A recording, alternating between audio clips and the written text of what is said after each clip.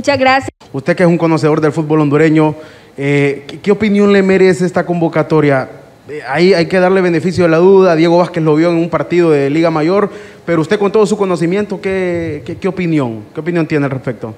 No sé que, no lo conozco, la verdad. No, me, no, no voy a hacer el, el que conozco todo el fútbol del país, porque no lo he visto jugar a este muchacho, pero de Costa de Marfil salió Didier Drogba y es el único futbolista conocido de Costa de Marfil, entonces vos podés encontrar en Liga Mayor quizá alguien que te pueda representar por sus condiciones naturales, pero cuesta, cuesta con la edad que tiene este, de que sea una solución a nivel selección.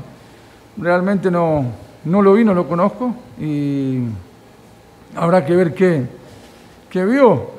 Pero tampoco vamos a decir que Diego es un experto en, debutar futbolista y sostenerlo arriba, así que vamos a darle el beneficio de la duda al técnico más que al jugador.